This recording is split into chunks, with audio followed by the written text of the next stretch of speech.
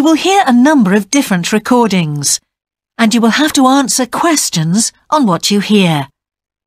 There will be time for you to read the instructions and questions, and you will have a chance to check your work. All the recordings will be played once only. The test is in four sections. At the end of the test, you will be given 10 minutes to transfer your answers to an answer sheet. Now turn to section 1. Section 1 You will hear a man phoning to inquire about a job vacancy. First, you have some time to look at questions 1 to 4.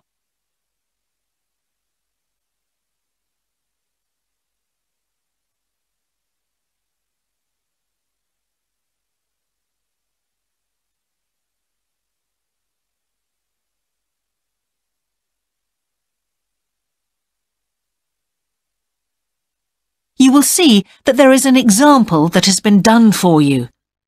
On this occasion only, the conversation relating to this will be played first.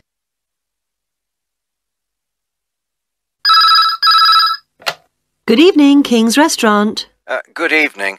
I'm ringing about the job I understand you have vacant. Oh, yes. The job vacancy is at a restaurant, so a restaurant has been written in the space. Now we shall begin. You should answer the questions as you listen, because you will not hear the recording a second time. Listen carefully and answer questions 1 to 4.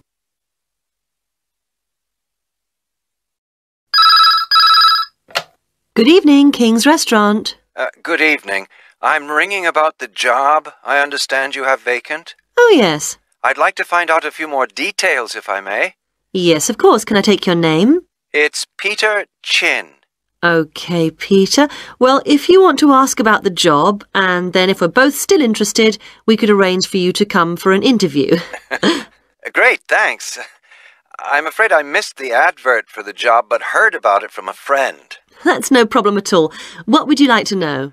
Well, um, what sort of work is it? Washing up? It's answering the phone. Oh, right, fine. And not waiting at table. That'd be good. And how many nights a week would it be? Well, we're really only busy at the weekend. So, two nights? Three, actually, so it would work out at 12 hours a week. That'd be fine. It wouldn't interfere with my studies. Are you at the university? Yes, first year physics student. Oh, right. Um, and because I'm not an EU national, would I need a work permit? Yes, you would. Just get your tutor to sign it. That wouldn't be a problem if I were to get the job. Um, where exactly is the restaurant? Well, we have two branches. The one we're recruiting for is in Hillsdunne Road. Uh, I don't know that. Uh, how do you spell it, please? It's H I L L S D U N N E Road. Mm, got that. Thanks. Is it near a bus stop? Yes, the nearest one would probably be just beside the library. Oh, yes, I know it. That'd be fine for me. And could I ask about the pay? We're offering £4.45 an hour. That's very good. My last job was £3.95 an hour. Before you hear the rest of the conversation, you have some time to look at questions 5 to 10.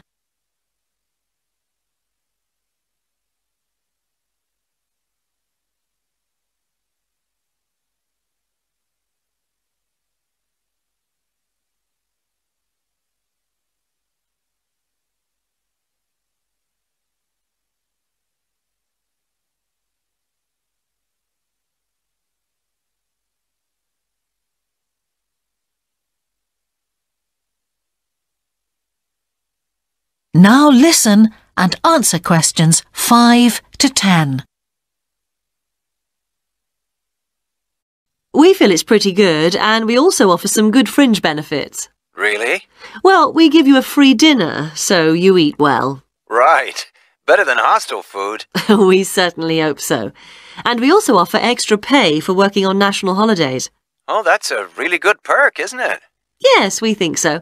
And then because of the difficulties of getting public transport, if you're working after 11 o'clock, we drive you home. Oh, that's good to know. Well, we'd certainly be interested in inviting you for an interview if you're still interested. Oh, yes, certainly. Uh, Could I just also ask what qualities you're looking for? Well, for this particular job, we want a clear voice, which you obviously do have, Thanks. And you must be able to think quickly, you know. Well, I hope I. So, when could you come in for an interview? We're actually quite quiet tonight. Uh, sorry, I couldn't come tonight. Or tomorrow, I'm afraid. Uh, Thursday's okay. That'd be 22nd of October? Fine, after 5 p.m.? Yes, fine. Would 6 o'clock be okay? Perfect. And could you bring along the names of two referees? Yes, that's fine. No problem. Good. I look forward to seeing you. Oh, uh, by the way, who should I ask for? Oh, yes, of course. Sorry. My name is Samira Manuja. Uh, can you spell that, please? M A N U J A. Okay. I've got that. Thanks very much. Look forward to seeing you later on then. That is the end of section one. You now have half a minute to check your answers.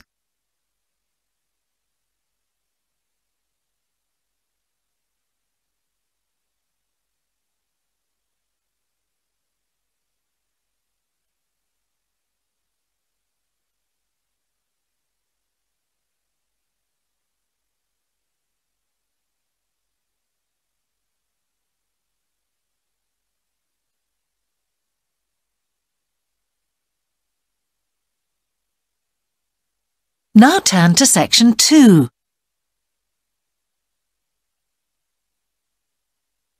Section 2 You will hear part of a radio programme about the opening of a new local sports shop. First, you have some time to look at questions 11 to 16.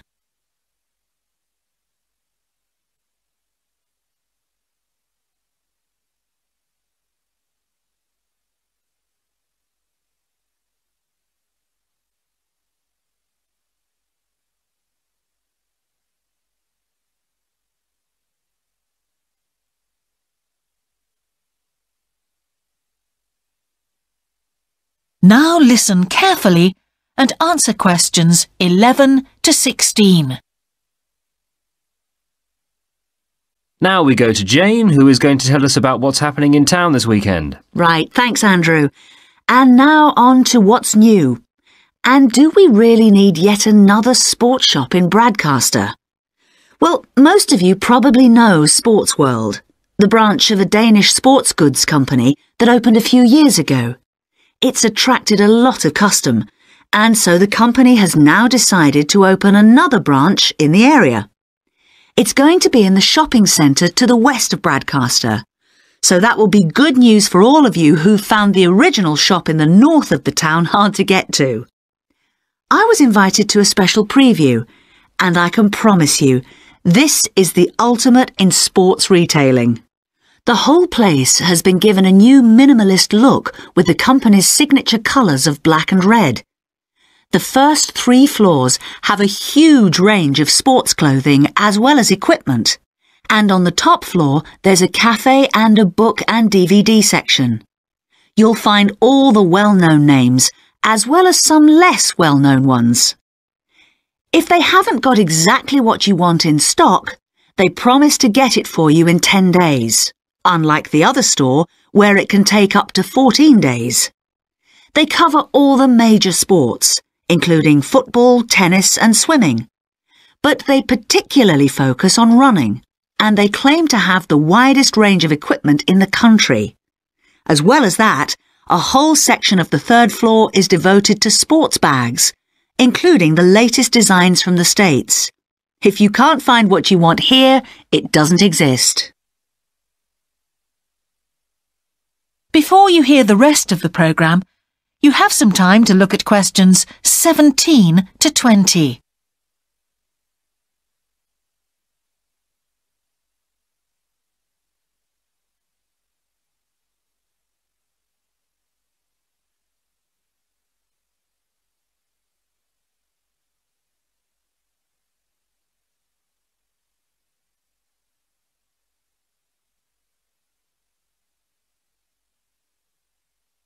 Now listen and answer questions 17 to 20. The shop will be open from 9am this Saturday, and if you go along to the opening, then you'll have the chance to meet the national 400 metres running champion Paul King, who's coming along to open the shop. And he will be staying around until about midday to chat to any fans who want to meet him and sign autographs. Then there will be a whole range of special attractions all weekend. There will be free tickets for local sporting events for the first 50 customers, and also a special competition open to all. Just answer 15 out of 20 sports questions correctly to win a signed copy of Paul King's DVD Spring Tips, while the first person to get all the questions correct gets a year's free membership of the Bradcaster Gym all entrants will receive a special sports calendar with details of all Bradcaster fixtures in the coming year. One of the special opening offers is a fitness test, a complete review of your cardiac fitness and muscle tone, actually done in the shop by qualified staff. This would normally cost £30, but is available at half price for this month only. There are only a limited number of places available for this, so to make a booking, phone 560-341. In addition, if you open an account, you get lots more special offers, including the chance to try out equipment at special open evenings. That is the end of section two. You now have half a minute to check your answers.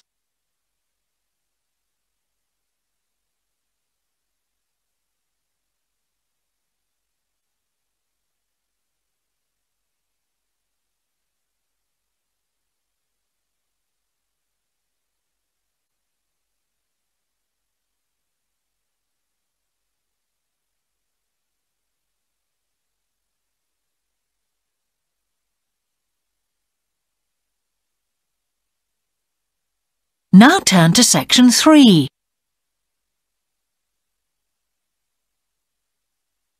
Section 3. Two overseas students called Spiros and Hiroko have just finished the first semester of their university course. They are discussing with their English language teacher how they coped with the course.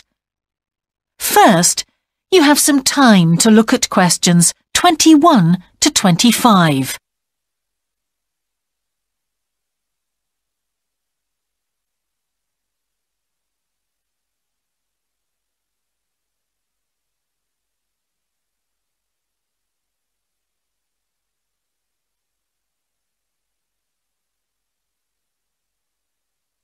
Now listen carefully and answer questions 21 to 25.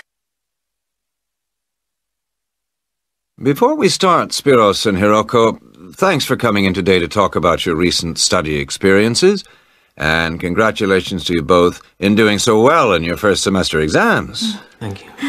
I'd like to discuss with you the value of the English for Academic Purposes course you did here last year before starting your university course. Uh, Spiros, if I could start with you, what parts of the program have now proved to be particularly valuable to you? Um, I think that having to do a seminar presentation really helped me. For example, a couple of weeks ago in our marketing subject, when it was my turn to give a presentation, I felt quite confident. Of course, I was still nervous, but because I had done one before, I knew what to expect. Hmm. Also, I know I was well prepared, and I had practiced my timing. In fact, I think that in relation to some of the other people in my group, I did quite a good job, uh, because my overall style was quite professional. What about you, Hiroko?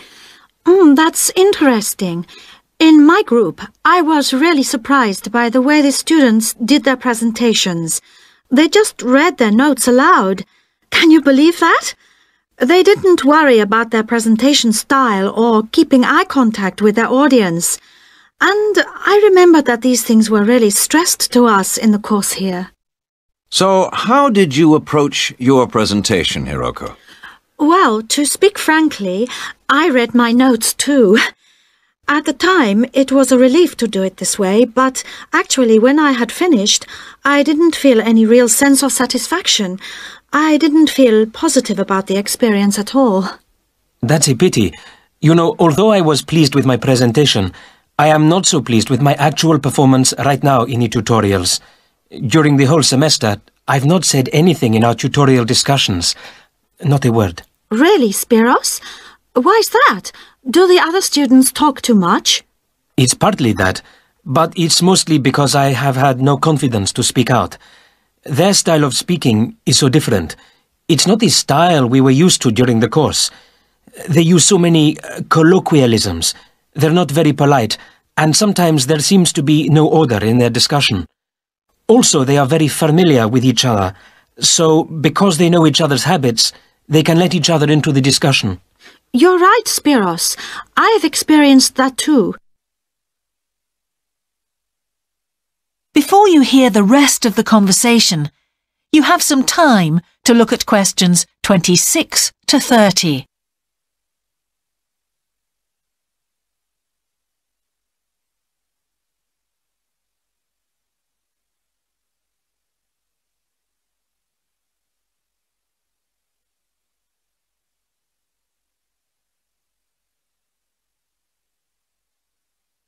Now listen and answer questions 26 to 30. For most of this semester, I've said absolutely nothing in tutorials. But recently, I've been trying to speak up more, and I just jump in. And I've noticed an interesting thing.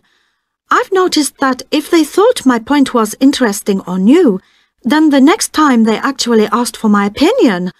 And then it was much easier for me to be part of the discussion. Oh, that's great, Hiroko. I hope that happens for me next semester. I'll have to work hard to find some interesting points. What helped you to find these ideas? I think that one thing that helped me with this was the reading. I've had to do so much reading this semester just to help me make sense of the lectures. At first, I couldn't understand what the lectures were talking about so I had to turn to the books and journals. Every night I read for hours, using the lists of references that were given, and I made pages of notes. At breakfast, I read and read my notes again. This habit has helped me to follow the ideas in the lectures, and it's also given me some ideas to use in the tutorials. But I did so much reading anyway. I don't think there's any time left over for anything extra.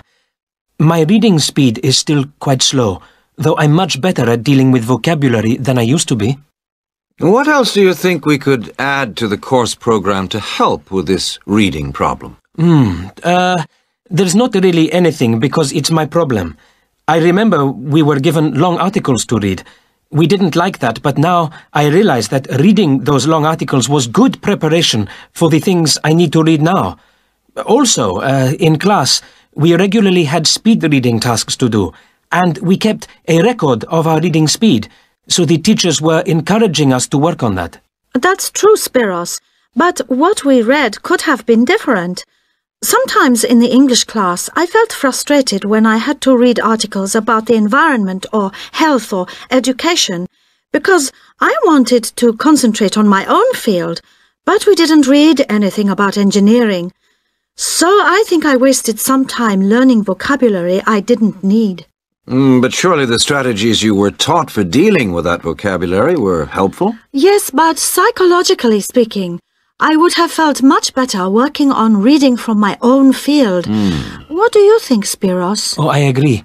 That would have helped my confidence too, and I would have been more motivated. Uh, it was good, though, that we could work on our own topics when we wrote the research assignments. Okay, Let's move on to writing now and... Uh, that is the end of section three. You now have half a minute to check your answers.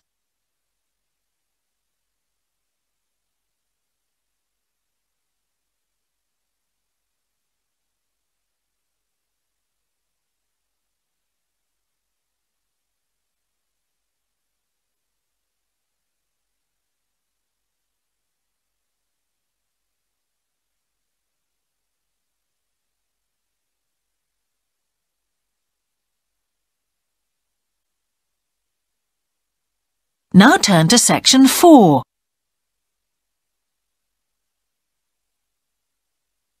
Section 4. You will hear part of a lecture about a problem related to the behaviour of certain sea creatures. First, you have some time to look at questions 31 to 40.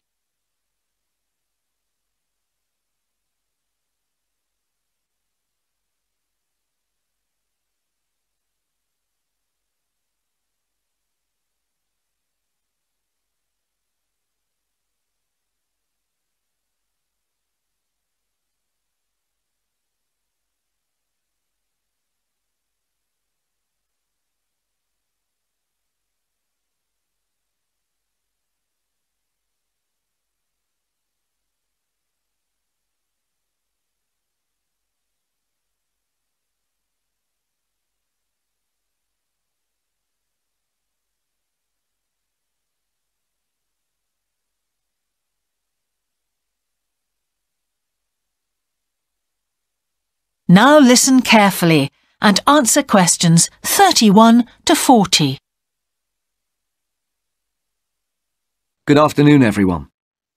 Well, with some of you about to go out on field work, it's timely that in this afternoon's session I'll be sharing some ideas about the reasons why groups of whales and dolphins sometimes swim ashore from the sea right onto the beach and, most often, die in what are known as mass strandings. Unfortunately, this type of event is a frequent occurrence in some of the locations that you'll be travelling to, where sometimes the tide goes out suddenly, confusing the animals. However, there are many other theories about the causes of mass strandings. The first is that the behaviour is linked to parasites. It's often found that stranded animals were infested with large numbers of parasites. For instance, a type of worm is commonly found in the ears of dead whales. Since marine animals rely heavily on their hearing to navigate, this type of infestation has the potential to be very harmful. Another theory is related to toxins, or poisons. These have also been found to contribute to the death of many marine animals. Many toxins, as I'm sure you're aware, originate from plants or animals. The whale ingests these toxins in its normal feeding behavior, but whether these poisons directly or indirectly lead to stranding and death seems to depend upon the toxin involved. In 1988, for example, 14 humpback whales examined after stranding along the beaches of Cape Cod were found to have been poisoned after eating tuna that contained saxitoxin, the same toxin that can be fatal in humans.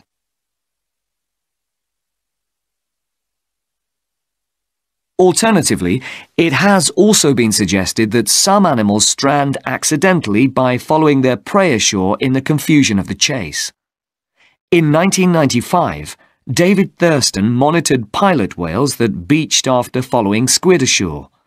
However, this idea does not seem to hold true for the majority of mass strandings because examination of the animal's stomach contents reveal that most had not been feeding as they stranded. There are also some new theories which link strandings to humans. A growing concern is that loud noises in the ocean cause strandings. Noises such as those caused by military exercises are of particular concern and have been pinpointed as the cause of some strandings of late. One of these, a mass stranding of whales in 2000 in the Bahamas, coincided closely with experiments using a new submarine detection system. There were several factors that made this stranding stand out as different from previous strandings. This led researchers to look for a new cause. For one, all the stranded animals were healthy. In addition, the animals were spread out along 38 kilometres of coast, whereas it's more common for the animals to be found in a group when mass strandings occur.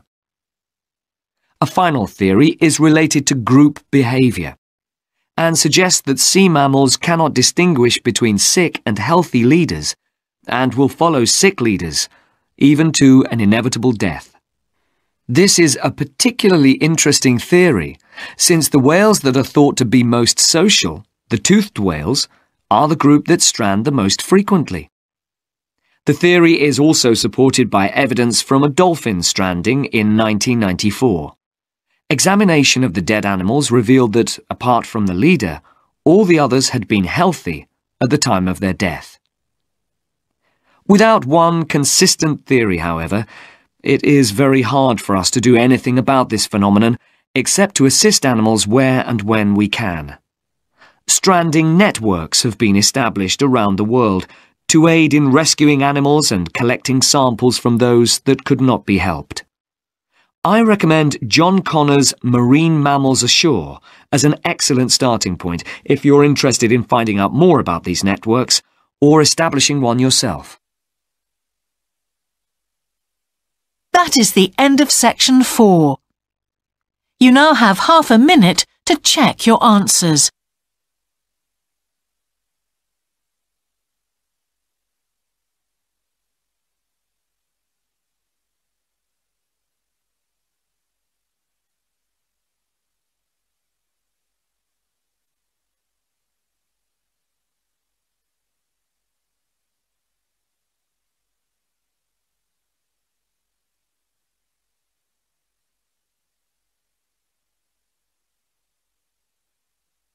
That is the end of the listening test. In the IELTS test, you would now have 10 minutes to transfer your answers to the answer sheet.